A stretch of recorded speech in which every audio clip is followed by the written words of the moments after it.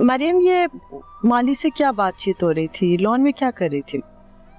मैं उनकी हेल्प करवा रही थी। मुझे अच्छा लगता है घर के कामों में सबकी हेल्प करवाना। तुम्हारे घर में गार्डन है? वो। मुझे एक्चुअली गार्डनिंग का काफ़ी शौक है। काफ़ी रिफ्रेशिंग फील करती हूँ मैं। हम जब भी फार्म हाउस जाया करते थे ना मैं लेकिन ये तो पूरा घर तुम्हें फार्म हाउस लग रहा होगा ना पूल भी है बड़ा सा लॉन है सब कुछ।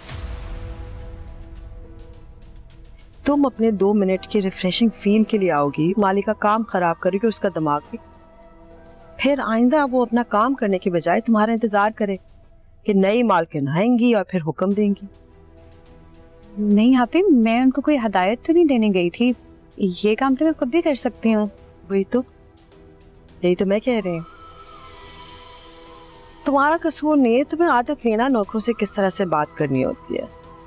लेकिन हर घर के अपने तौर तरीके होते हैं।